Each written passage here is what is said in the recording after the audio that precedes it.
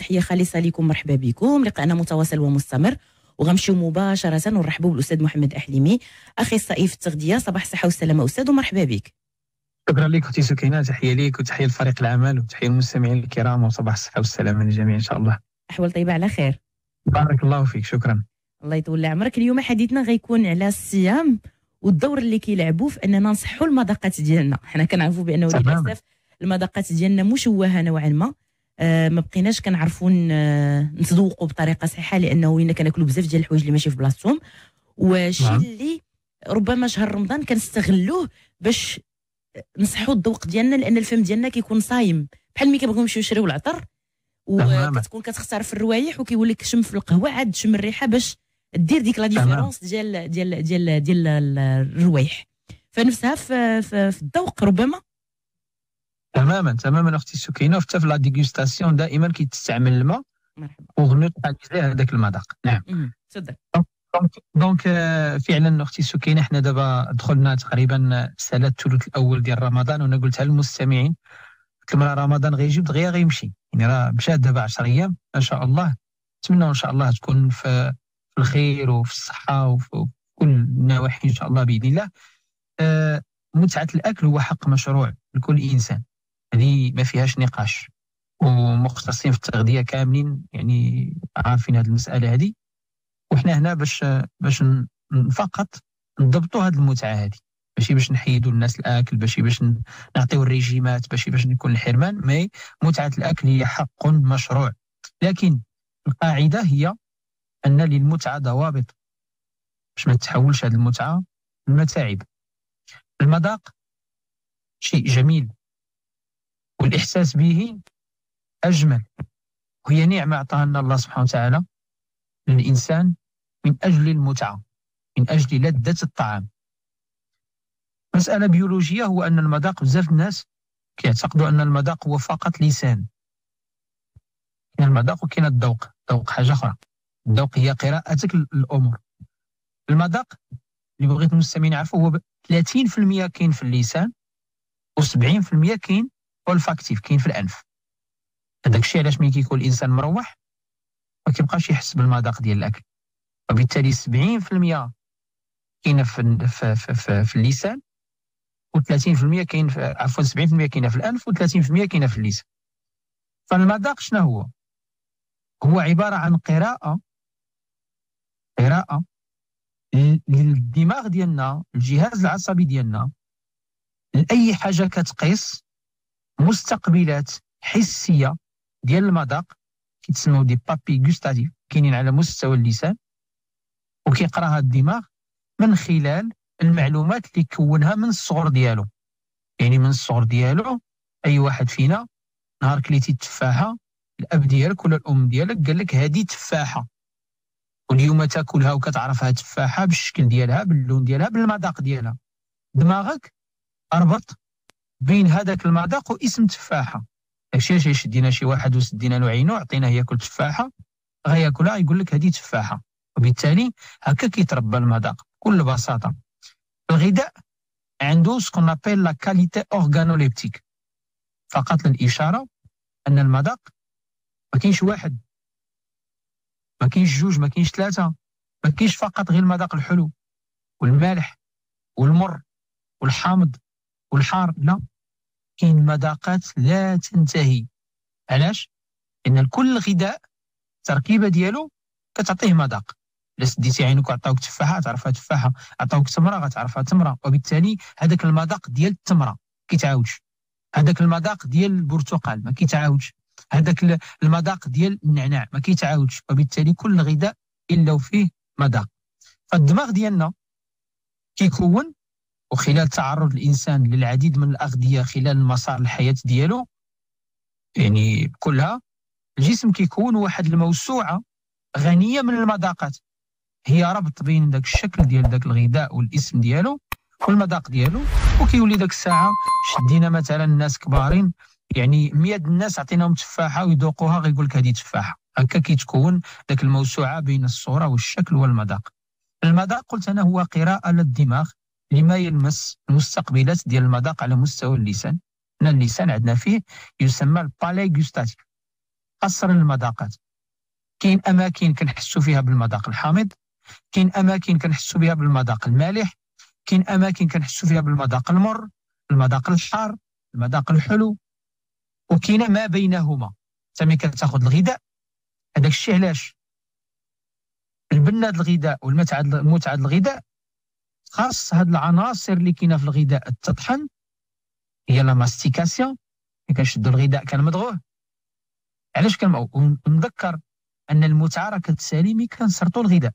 ce qui fait أنا إلا بغيت نستمتع بالغذاء أكثر خصني نخليه في الفم ديالي أكثر وبالتالي كل ما دار في الفم ديالي كل ما قاس المنطقة اللي كتحس بالمالح كل ما قاس المنطقة اللي كتحس بالحلو المر الحامض الحار وكيولي يخرج هذاك المذاق. علاش كتلقى شي واحد ملي كيدير la dégustation كيدوقا كيسد عينو كيبقى غادي يقول لك oui هذا هذا الغذاء هذا إما مثلا ال premier goût là l'arrière-goût là كاين بزاف ديال الأمور. كاينين des spécialistes في العالم malheureusement كيمشيو بعض les filiales منها العديد من الخمور والعديد من هذه ما كاينين des spécialistes في العالم خاصين ب la dégustation ف مع محدودية الأكل وغياب الرضاعة الطبيعية بالخصوص فالعديد من الناس عندهم أثر في المذاقات.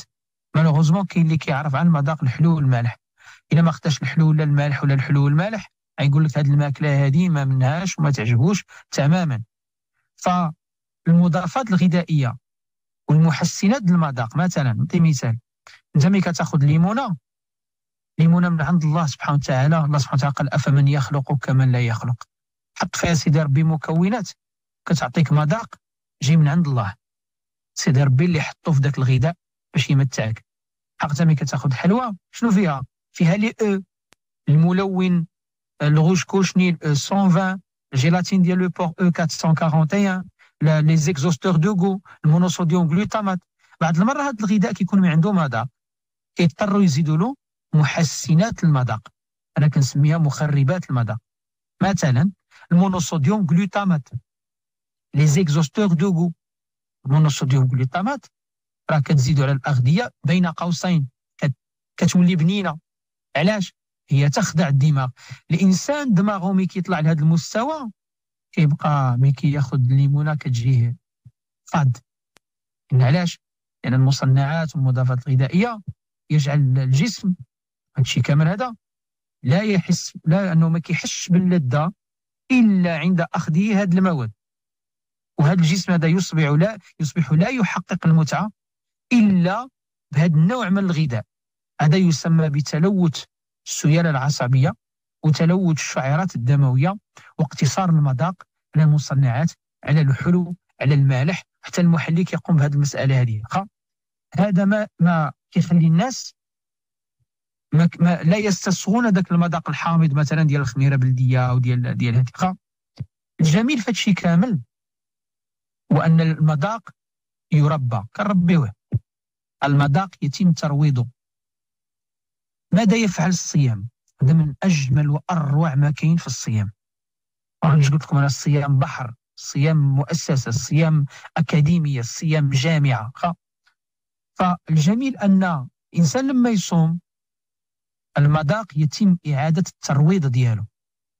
إعادة البرمجيات ديال المذاق تبدأ بالصيام. مثلا من غير رمضان شي واحد قال مثلا أنا بغيت نعاود المذاقات ديالي وين نحس بالأغذية وناخذ تقول له صوم. فما بالك شهر ديال الصيام؟ شهر الصيام شرط الأكل يكون جيد يعيد إعادة برمجية المذاق كل شيء. وعند الصيام يسترجع الجسم برمجيته البيولوجية كلها في بما في ذلك المذاق.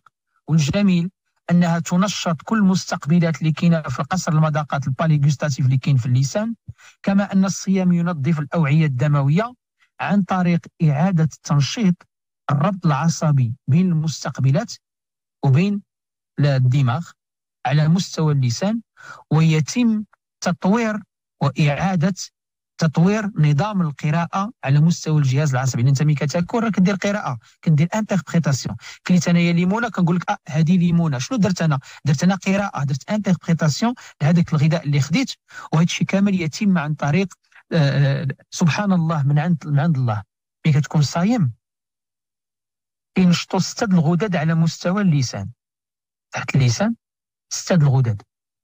شحال كيفرزوا كيفرزوا لنا خلال النهار في الأيام العادية يطرو نص ديال اللعاب. لما تكون صايم بعض المرات كيتفرز حتى لجوج يطرو. شنو كيديروا سبحان الله يعني واحد الحكمة ربانية. كيتغسل اللسان والفم. لا من البكتيريات ولا من العديد من المشاكل على مستوى الفم في البكتيريات. زائد يتم تنشيط المستقبلات. وانت وانت صايم اللسان ديالك كيتغسل سبحان الله. لأن اللعاب ديالنا خص الناس يعرفوا راه ماشي سائل عادي. فيه أنزيمات antiseptique antibactérien وكيدير la saponification شوف على الخبيزة كتحطها في الفم ديالك كتحلل.